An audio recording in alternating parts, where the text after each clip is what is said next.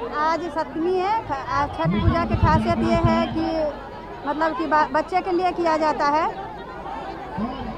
दिनों का पर्व होता है आज कौन सा दिन है आ, ये तीन दिन का पर्व होता है। तीन मतलब तीन दिन व्रत रखते हैं।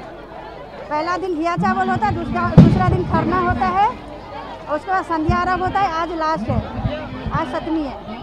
बात करें, कोरोना चल रहा है, किस तरीके से आपने सुरक्षा बरत के पानी में उतरने से पहले? हम लोग सुरक्षा किए हैं, मास्क लगाए हैं अपना अपना सब मतलब सब व्यवस्था करके।